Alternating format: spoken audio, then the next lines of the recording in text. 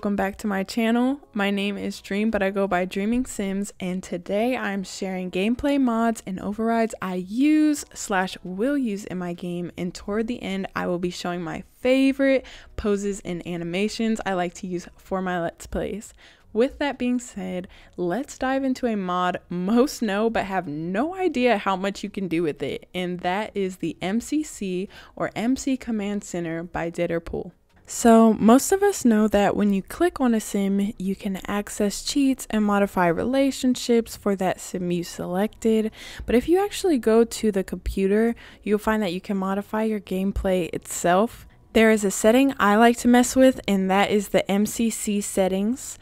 So, if your game likes to randomly crash at times, you can choose to have your game save automatically during certain intervals of playing. In the gameplay settings, you can also change your game time speed, which is super helpful for those who are doing Let's Plays because, as you know, the time can really get ahead of us. Right now, I just have it at the default settings because I am in a new save testing things out, but you have the choice to speed speed up the game or slow it down. And yeah, my personal preference is definitely to slow it down. For those who love big family gameplay, you can also change the maximum size of your household. And I have mine set to 8 so my laptop doesn't die on me.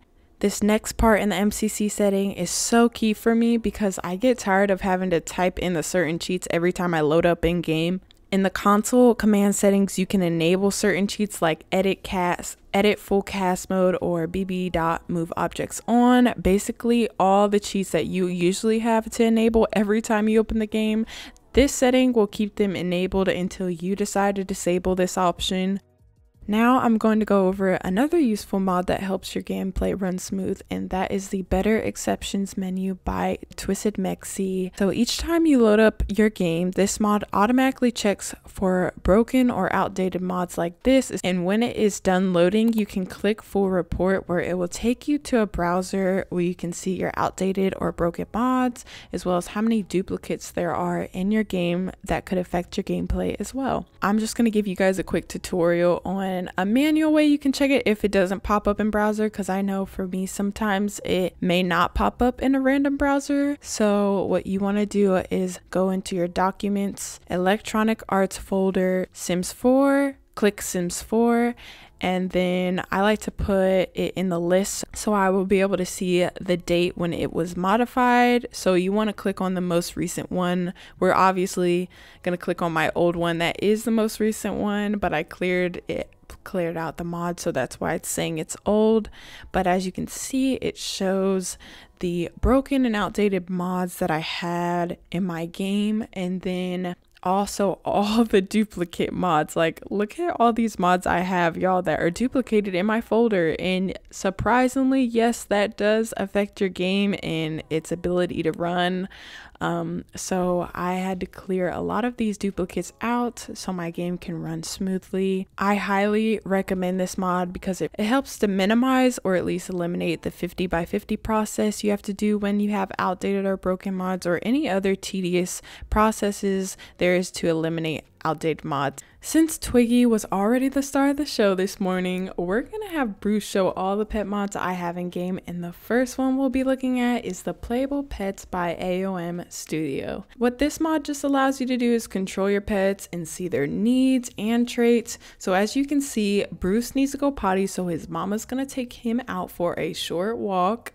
And as you can see, Bruce likes his walks very much, clearly.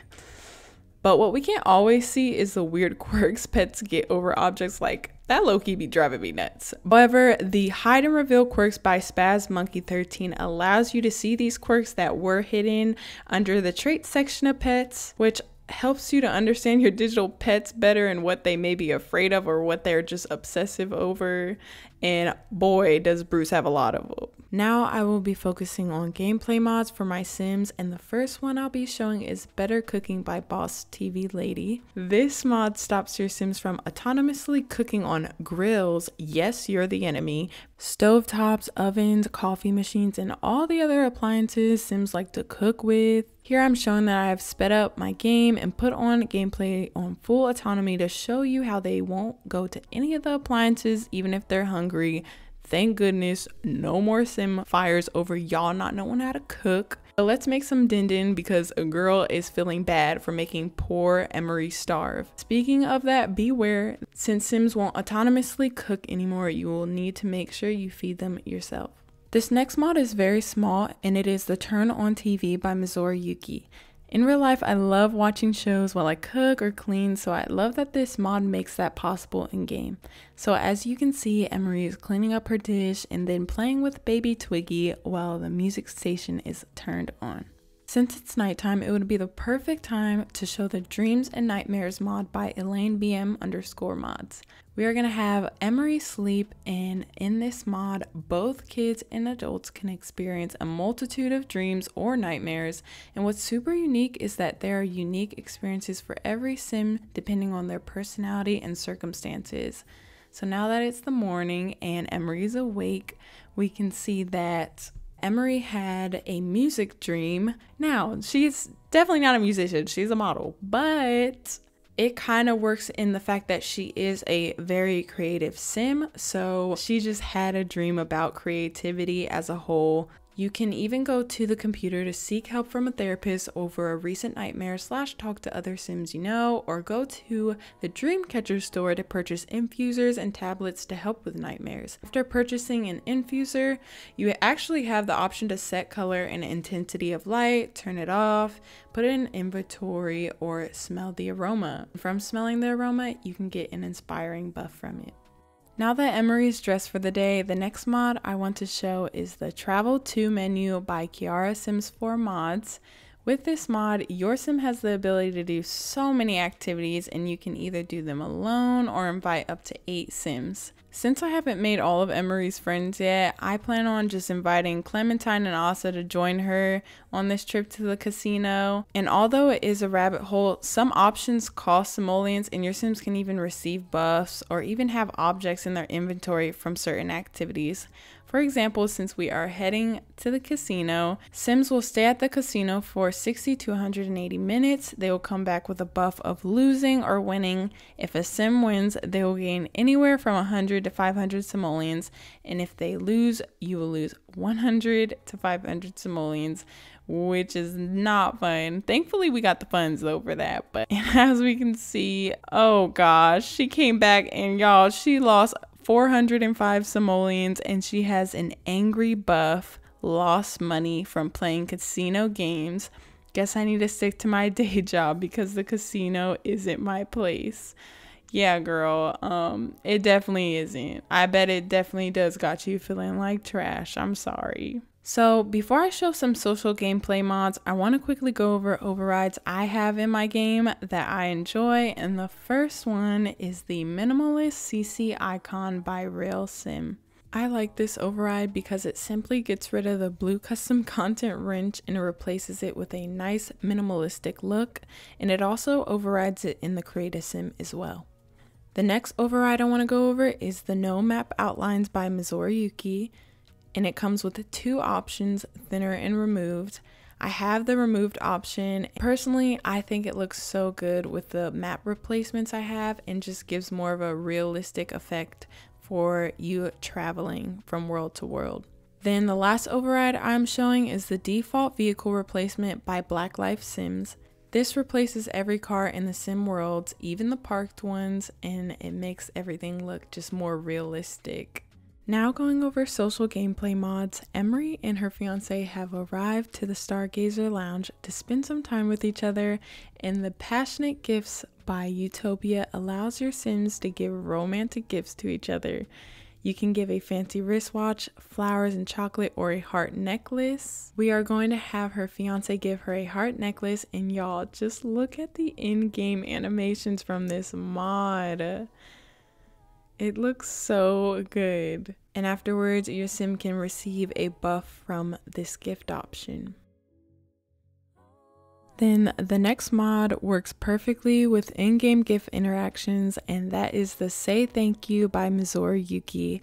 Such a small social interaction but I think so needed especially when I think about my Willow series and how many times I wish she could just say thank you. But now you have the option to say thank you or say thank you in bed. Now that I got them somewhere more private, the next new mod I want to show is Sociable Sims by Plumlace. I currently use Social Interactions by Maplebell Mods and Katie Mods, but the more social interactions I have in game, honestly, the better. I really like this one because not only does it give you various ways of socializing with other Sims, as you can see, But you also can receive unique calls and text messages too, as their Patreon says expect everything from creepy anonymous calls that'll give your Sims the chills to heartwarming good news that will leave them beaming with joy. I'm really excited for when I'm telling stories to just see the various phone calls we receive and the buffs that my Sims get from them. So I just think this mod will add even more depth for storytelling. Then the last social gameplay mod I'll be showing is More Kisses Collection by Maplebell Mods. I love this mod because it adds more in-game kiss interactions your Sims can have and I mean once again. Look at these animations.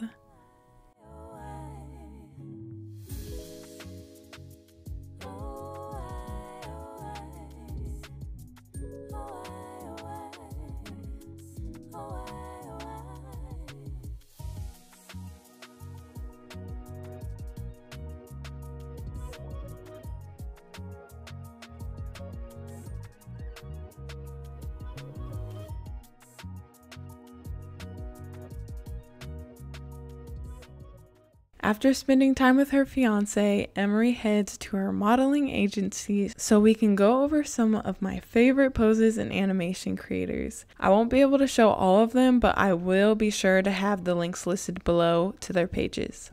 So, looking at pose creators, I love guys love using both Helgatisha and Rosalipa for my creative sim videos on my TikToks, as well as future posts I plan on doing on Tumblr. They both have great feminine and masculine modeling poses that I enjoy using for my game. Fun fact about me actually is that before I knew about animations, I literally used to create machinimas with poses only. So creators such as SB and Starry create such great poses for any storyline you're Sims may be going through. Now, focusing on just a few of my favorite animators, we first have Rascal.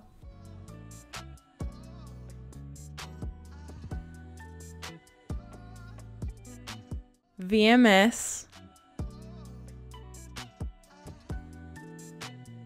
Silva Sims. And Sonora Studios. Most of the animations for Sonora, by the way, are not free, but I do love their action animations they have made and even have features in slow mo as I'm showing, which is so cool. But overall, these are creators I have used in my previous Let's Play series, and they even have animations through Wicked Whims Teleporter that are just as amazing. If you have made it this far, I hope you enjoyed this video and a very small glimpse of Emery's life. And I really want to thank each and every one of you for the support on everything. And I can't wait for you guys to see what's coming soon. With that being said, I hope you have a great day or night, and I'll see you in the next video.